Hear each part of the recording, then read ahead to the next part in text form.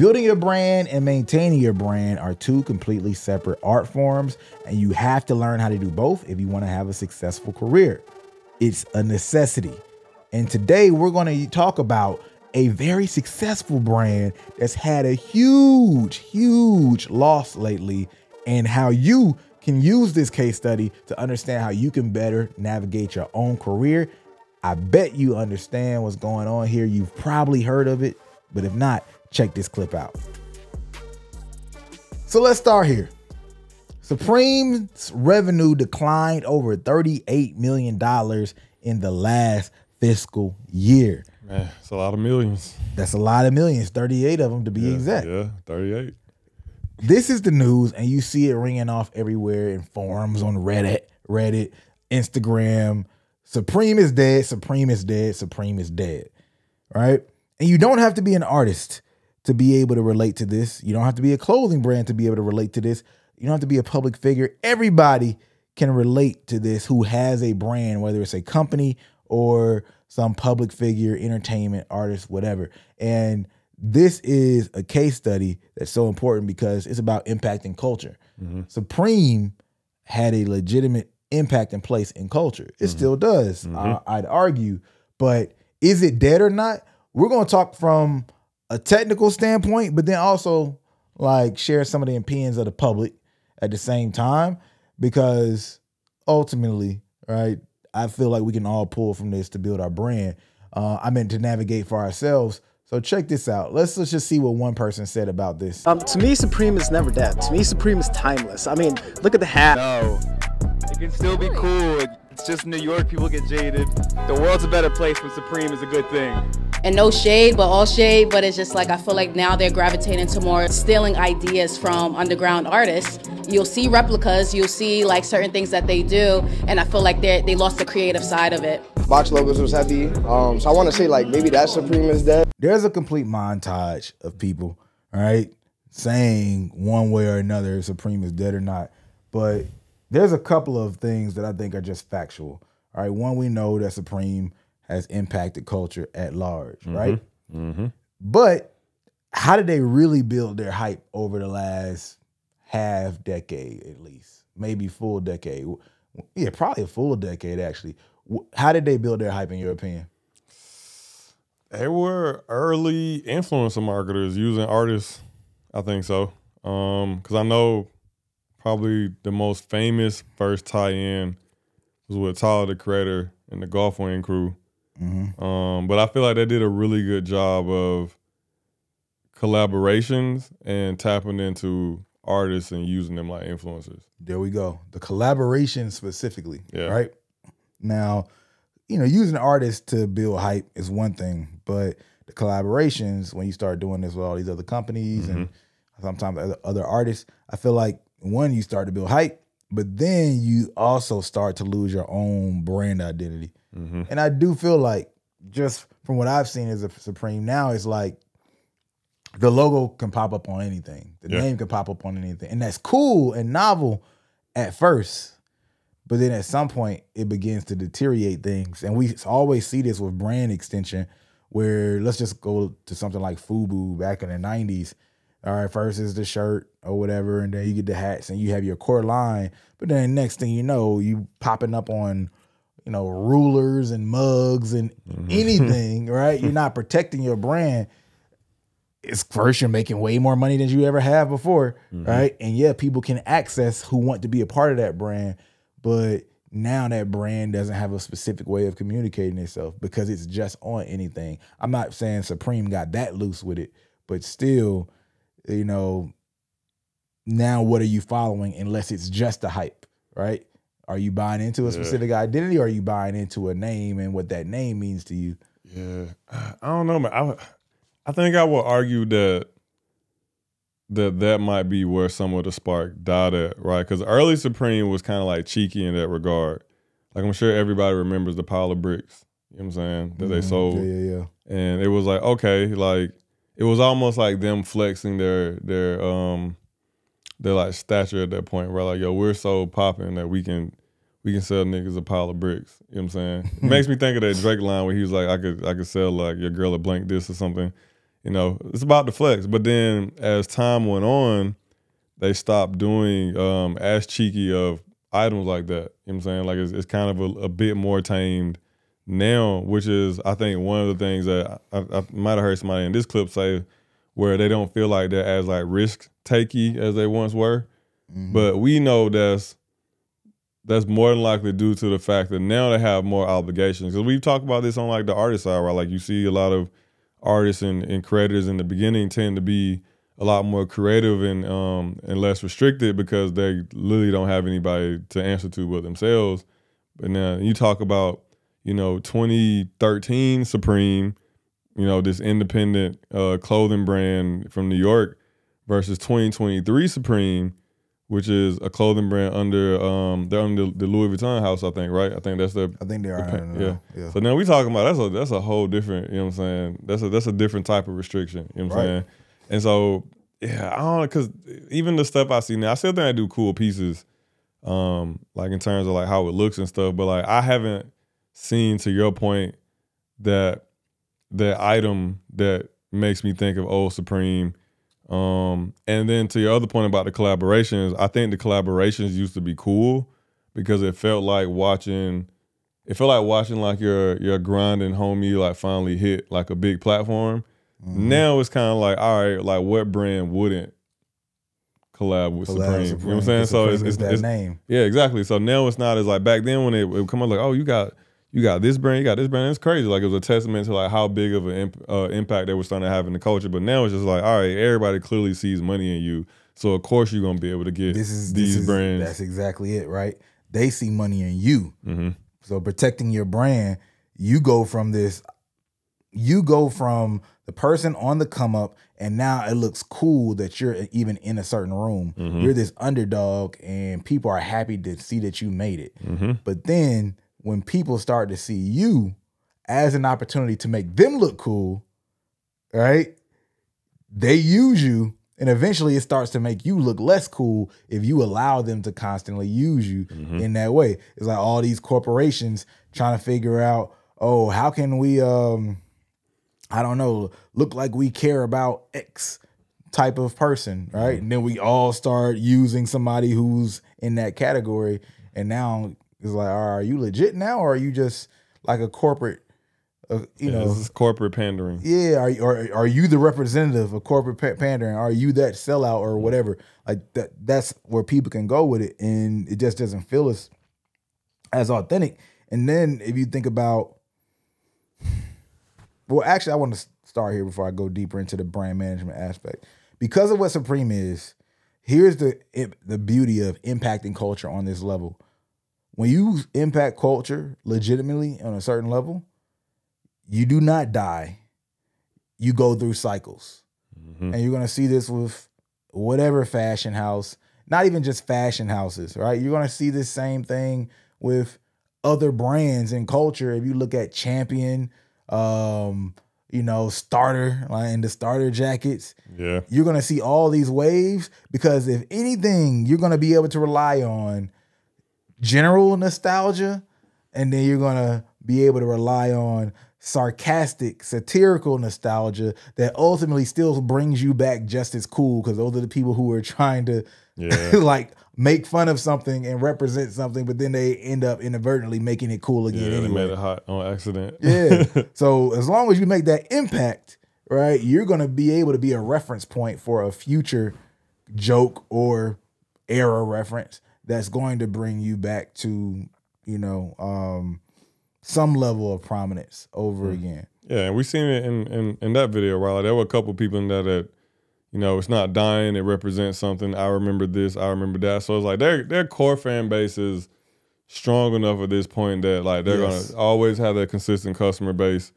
Um, and then like you said, like fashion moves in cycles, so it's, it's very well that even if they experience like a true fall off, like 40, 50 years from now, like some new influencer or artist would discover a vintage Supreme tee and you know don it in the video and just like that it'd be right back. You know, right? I knew I knew they weren't going away when I seen True Religion come back. That's when I was like, all right, but True Religion yeah. can come back, bro. It, it, right. Everybody's okay. Right. You know what I'm saying? like, hey man, I mean, we've seen all these different types of brands, and I think I mean, you know, we've watched Air Force Ones rise and then leave and come back.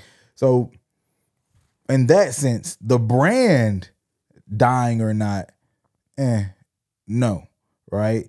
Now, is it out of cycle?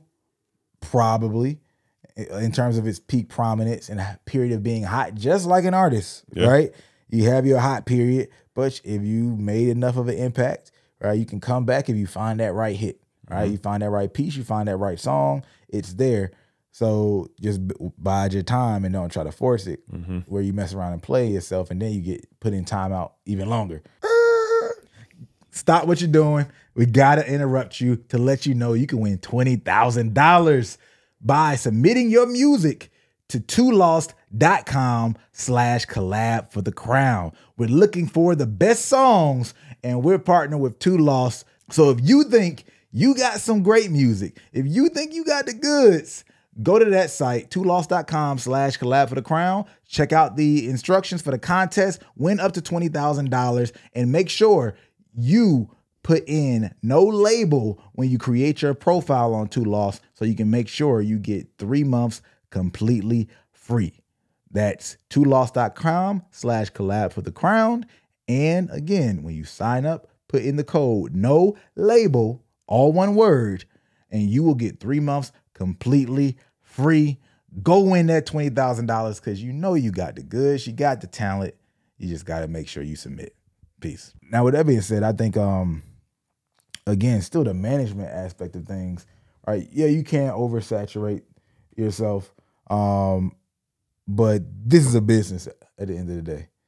So on that aspect, are we talking about dead? Are we talking about fall off? You gotta say yes from a business standpoint. Cause as much as a core fan might be like, well, yeah, the brand still means something, da da da da da. On the business side, you like, hey man, I gotta fire people. you know what I mean? Or I might have to file for bankruptcy, or I might have to sell. Like, so we can't just look at the brand's relevance and is that still there or not? We always do have to still at least consider from a business side what is dying or falling off look like. And on the inside, it might really feel like, hey, now we going through it right now because they're down $38 million. And from an outside, a fan or a civilian, a consumer could just be like, well, that's not that much money. They made 500 something million. A 38 million, what's that? Eh, we're not just talking about your personal bank account. We're talking about business that has operational or needs. You know what I mean? So it might um, be heard from that standpoint. And just like you, if you're dealing with issues with your brand, you're in a less hot period. You're like, oh snap, the money's not coming easily. I got to get my operations tighter. I was paying people, and now it didn't seem like much, but now money's not coming in. Uh, I might have to fire buddy or X, Y, and Z. Gotta let that blunt roller go. Gotta let him go.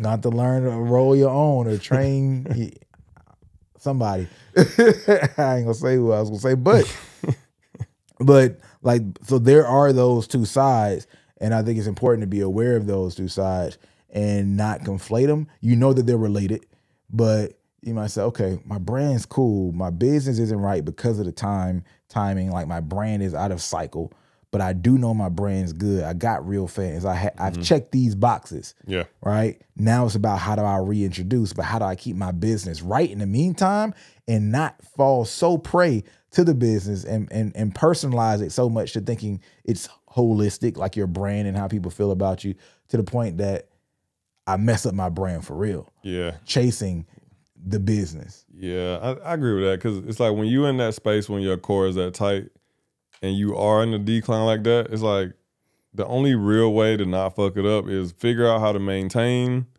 while also figuring out how to re-excite. That's like literally all That's you it. can do. And it's like some people, some brands and artists even, you know what I'm saying, figure out how to maintain and they never figure out how to re-excite. But like they're still okay. They just never become Yeah, like as hot as they were. And then you know we've seen artists that were able to maintain and then re-excite, and then it's like shit go back to like it was when they were at their peak or they were as hot. And so I think there's just a little bit of what Supreme is going through is that you know they they've switched demographics over the last like three four years or so. You know, like off camera we were talking. I was saying you know, they came in as kind of like the king representative of, of underground counterculture. Mm-hmm. And then, you know, you ride that wave to the top, you become the biggest representation of that. And then you get bought out by one of the biggest fashion houses in the world, which is almost anti what your initial message was. Bingo. You know I'm saying? That you that you build people around. And so now you go from being a big fish in a small pond back to being a small fish in a big pond again, right? So it's like, hey, I, I can literally imagine Louis Vuitton be like, hey man, y'all, you know, you killing in that streetwear, man. Y'all ready to come over to the, mm-hmm. you know, the real side of, you know, two thousand dollar t shirts and you know what I'm saying, and and five thousand dollar sneakers. And, you know, they took the challenge. They were up for it. But the thing I don't know if they thought about was if the fan base would keep up, you know, and like so yeah. that that's what I think of when I see the 38 million I would need to go do a little more research, but I wonder. I think it might just be a result of a lot of the high end brand changes just like finally catching up. You know what I'm saying?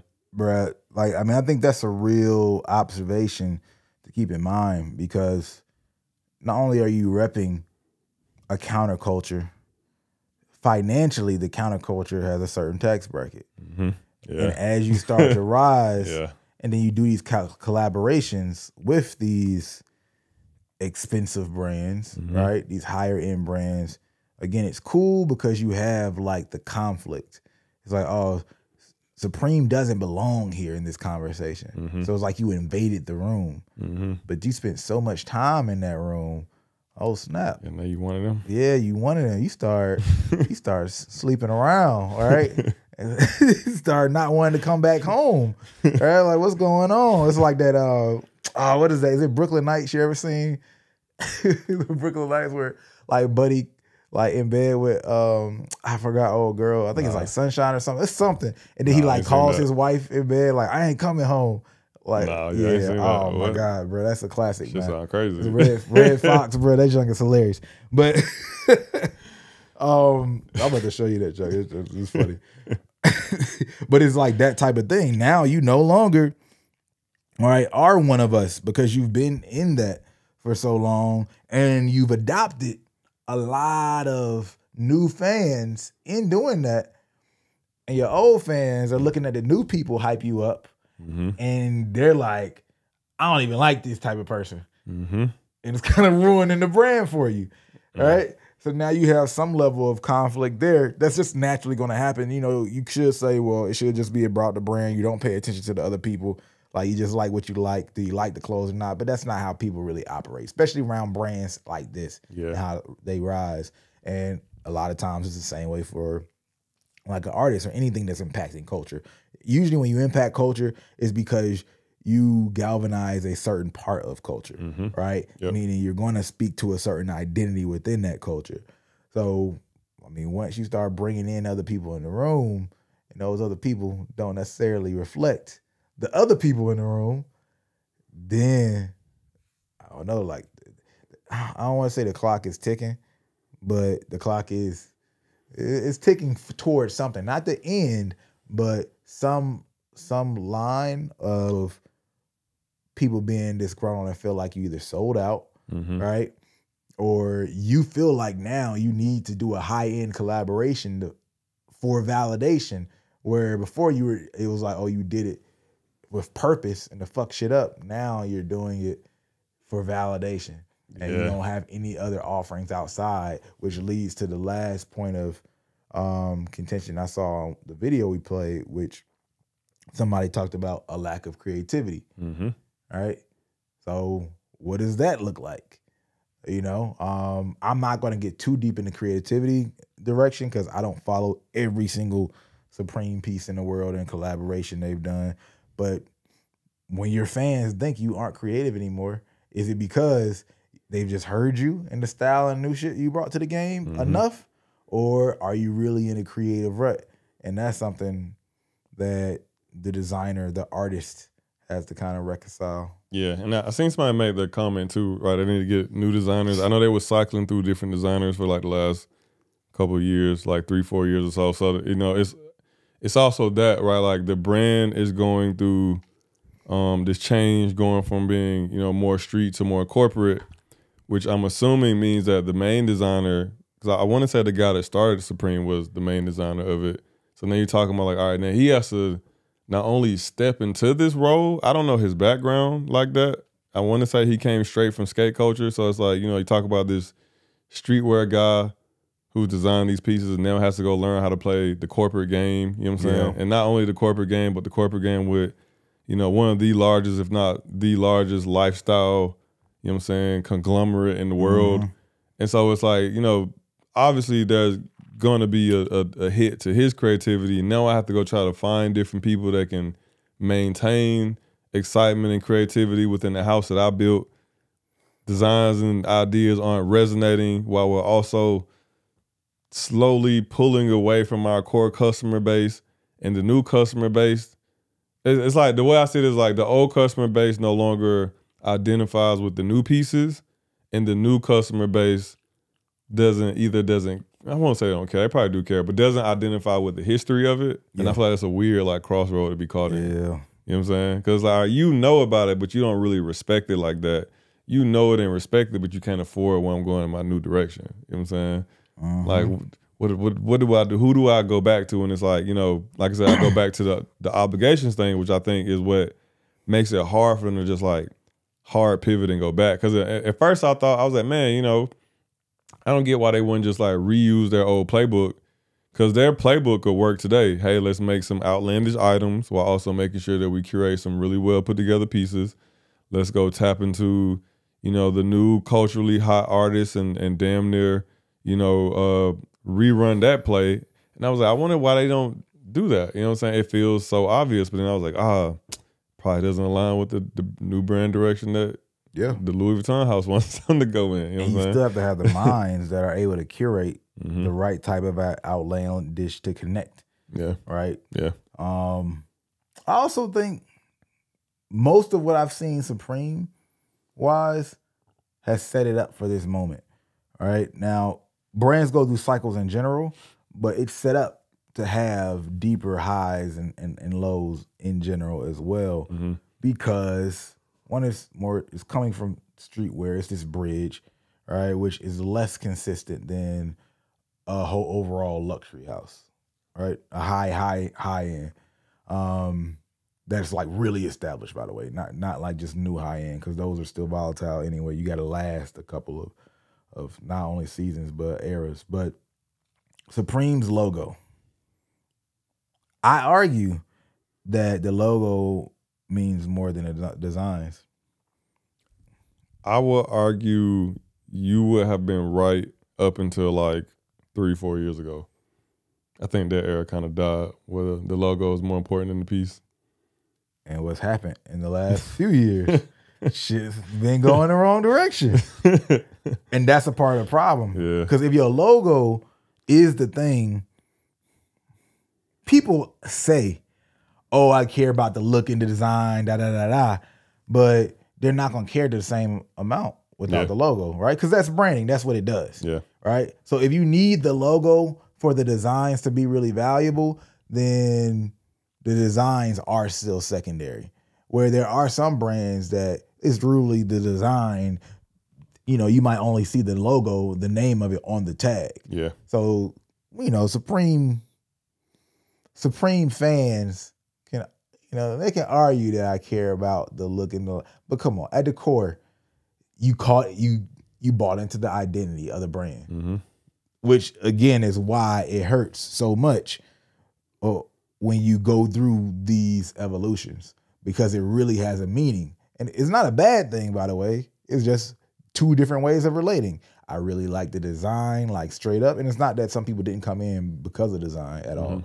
Right. But I really like the design as one side. I really like the um just what it means and what it represents and how I uh, uh, experienced it. Like with the artist, I really just like their music, right? Or I really like what this artist says, like what they're about overall, in their music just happens to make it better. Yeah. It's two different ways, and you can fall off or have a disconnect on either side, and that can take a brand up or it can take a brand down.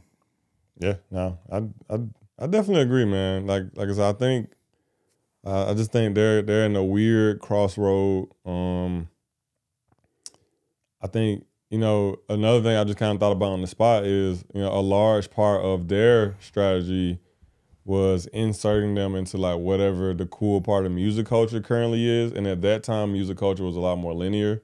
Mm. Versus like now, it's it's like how do you truly identify the the what artists like really Yeah. whole culture right now when the little entire argument in music right now is that no artist controls culture other Yeah. than like a Drake or something, right? And it's like, you know, I feel like there's a reason we've probably never seen a Supreme and Drake collab. You know, either that bag too high, maybe some history.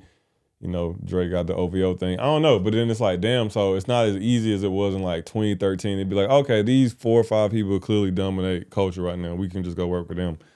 Um, and so when it's such a large part of your strategy is built around that, I mean, you talk about that's 40% of the game plan going right there. And then, you know, they start off as a streetwear brand, and you know, streetwear brands are typically supposed to be representative of like what like lower economic parts of the culture are mm-hmm. wearing, right? Like so it's the thing. Supposed It's you know, in layman's terms, it's like, oh, this is the thing that like the poor kids make cool. You know what I'm saying? And it becomes Right. a, a full fashion trend. Streetwear as a whole Yeah. kind of left that, which is there's some people that observe that streetwear might be dying Yeah. in some ways. Yeah, because it's because it's rebranded as like high end streetwear. It's like okay, I can go buy this, you know, fifty dollar pair of Dickies work pants, or I can go pay five hundred dollars for like some Raf Simons work pants. I can get the high end streetwear, or I can get the regular streetwear. This everybody can walk into Walmart and get this. You know what I'm saying? Only niggas that got it or are stupid gonna get it. So I'm, I'm I got a 50-50 chance of being okay. See, that's what I don't like about this era, man. like, which I mean, you know, it's it is what it is, but for the most part, it seems like everybody dresses alike in a different way. Yeah. See, before when people were dressing alike, it was like this trend, and everybody was buying into this specific zeitgeist in a way. But today, people act like they're doing different, but they're dressing alike. Yeah. And that's the that's the weird part about it. And you got because now you look at it, you're seeing from kids all the way to adults dressing the same. You don't even have age group uh, outfits anymore. I kind of like that though. I ain't gonna lie. No, I don't like it. Like, you know what I'm saying? Like my kids ain't gonna be dressing cool. Not for a while at least. You know what I'm saying? They're gonna look like kids. But I like the fact of knowing like, man, if I hit 58 and I wanna walk out the house in a, in a Adidas tracksuit, like I'm gonna be okay. Like nobody gonna judge me for it. Whereas like if my granddad today walked out the house in an Adidas tracksuit, I'm gonna look at him a little funny. I ain't gonna lie. I'm like player, player. what's Yeah, I'm up? like, granddad, you're not supposed to be dressing like that, bro. Like, you know what I'm saying? Act your age. But I like to know that by the time I get there, things are gonna be different. You know what I'm saying? I appreciate the comfortability and the freedom of it on our side, one hundred percent. But at some point, you don't get the specific vibes anymore. Yeah, I it's, think uh, it's all right. It's it's cultural global. Like you have you have how you have cultural globalism, Mm-hmm. right? And that's affected everything. yeah. It's fashion. We're just gonna use the term globalism or the breaking down of regions, right? So you mm-hmm. had regionalism within ages Yeah. and other parts of cultures as well.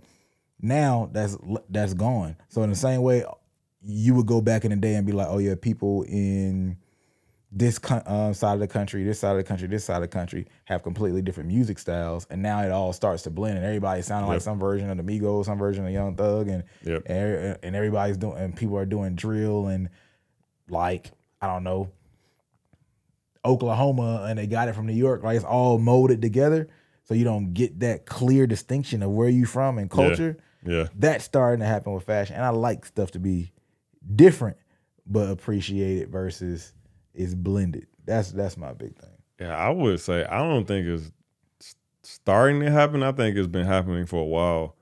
Um, cause I was actually thinking about that as you said it. Like I remember when I first went to college and I learned that like Foamposites were like a DMV thing. Like niggas in the DMV love Foamposites. And I'd never really seen them like that until like I, I think I probably seen them like the malls and stuff before, but I never really seen people wearing them until I, I moved to Virginia. And then, you know, that might be the last time I can think of a particular item being culturally relevant. I mean, I know now like there are like Afro beats artists that wear like the um I can't think of the hats, but it's kind of like the straw style, like bucket hats, like the wicker style bucket hats. The, Okay. I think are a little bit more tied to Nigerian culture. They might be the closest to having something like that. I mean, there was the baklava and like the drill culture in the beginning. You know what I'm saying? Yeah. But then it's like now because of the internet, like, because I remember seeing this. It was some fashion trend, like Gen Z fashion trend that was going viral early in the year. I can't remember what it was. It was like I think it was like something with like a key ring or something. But it was like this kid had the idea to do it, and then he made a TikTok about it. And by the end of the week, like the, whatever it was, the item was like selling out of like Home Depot and shit. So it's like now you talk about like, I mean, Supreme used to get you know flack for like you know how fast certain shit will move and go viral. Yeah. But even then, it still took like a like a couple months. You know what I'm saying? Like now you talk about like I could have an idea on Monday, I could post this shit on Tuesday. By Saturday, it's viral, and kids all over the world are looking for how to make it. And by Monday, Shein and Zara and H and M already Yeah. put that bitch on the shelf. That's what it is. It's the speed. you know, and a lot of that started, you know, the internet, music, like really pushed that. I mean, because even in the '90s, it, you look at the, um, what's the word? Not importing, the exporting of New York culture through Oh, hip hop. All right, you got people in the South wearing Tims and things like that, right? Because of that. Crazy. But that stuff only amplified and started to move faster and faster as the internet moved, globalism increased, and like I said, operations for companies. That fast fashion thing is is crazy. Same, bro. It's Fast crazy. fashion fucked it up for everybody. Because now it's like, man, I not only have to have a good idea, which is most of the battle, I have to now also be quicker to stabilizing the process of continually creating that good idea. And what does that mean for an artist? That's a good question, man. I ain't gonna lie. What does that mean for an artist? That means that it's not about who has the good idea or the talent first. It's about who can consistently maintain the environment to keep showcasing that mm. talent. Mm. I like that. You know what I'm saying? Exhibit A would be somebody like a Young Thug, Yeah, great Right. example. where people started to do a lot of that similar style, but and he didn't go as high as quickly as some people wanted because he took some steps back. Mm-hmm. But he was able to keep getting out there with a consistent platform, and then when it hit, it hit. Yeah. right? Versus, oh yeah, people saw you making a hot little song, everybody take the style, and then we never see you again, and that's when it's a problem. Yeah, I think yeah, that's a great example because I've told artists before, man. I've been like, you know, there's a ninety percent chance that there's another artist out there that sounds exactly like you do, and I'm not even talking about just sonically. Like there are literally some people out there who sound just like you, like vo- vocal tonality, all that. Like it'd be Spider Man meme if y'all met each other. And so if you think about that, well, hey, there are two artists who like to rap about love.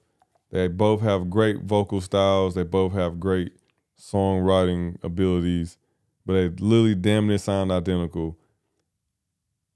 The race, the race to being successful comes down to two things, right? It comes down to, like I said, one, who can maintain long enough to be discovered by majority of people. And then of course it comes down to who do majority of people discover first. Because the person that gets discovered second is gonna get accused of buying the other person. Facts. You know what I'm saying?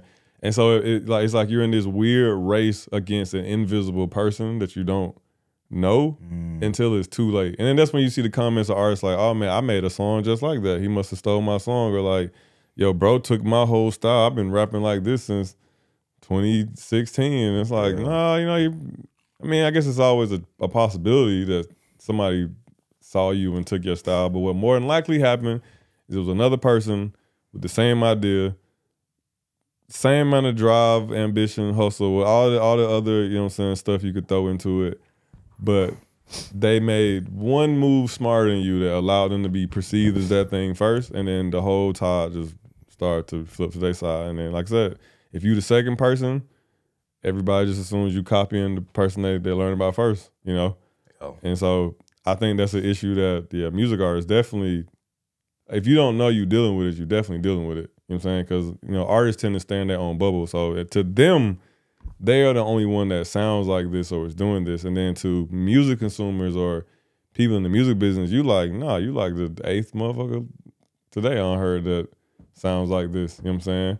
Um, and then to your point, yeah, I think fast fashion definitely brought that trend into fashion because it's literally the same thing. Like, all right, it's not about who has the idea first; it's who can put the idea out and get it to the most amount of people the fastest. So when you see it in another clothing brand, you're like, oh, they stole this from, you know, X Y Z brand.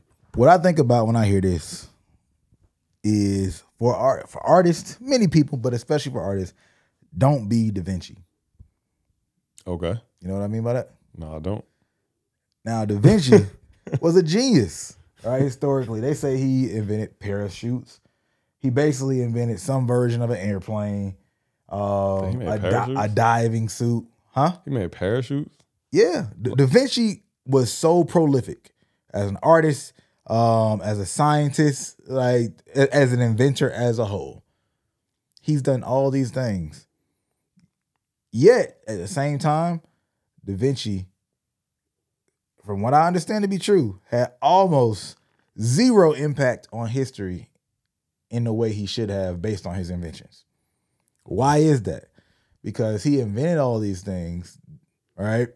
But he didn't influence people with these things. Yeah. People found his inventions after the effect. So imagine if you invented the airplane, Crazy. but then I don't know, these other guys end up inventing the airplane as well. People start flying airplanes, and Crazy. then we're going through. I'm just making this part up. this is not what actually happened. So don't try to get all historical on me, people, and be like, this is not exactly. But for a scenario, we going through some old files or whatever, and then we find out, oh shit, this man Jacorey invented an airplane like 30 years before the airplane came out. Crazy. It's like technically, did you do it first? Yes, but because we never even knew you did it, you had zero impact on the outcome of the actual history.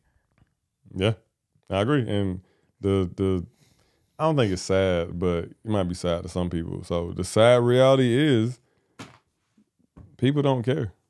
People to your point, people care about like, all right, where do I get the most benefit from in this acknowledgement? Probably acknowledging the side of it that everybody else already knows about.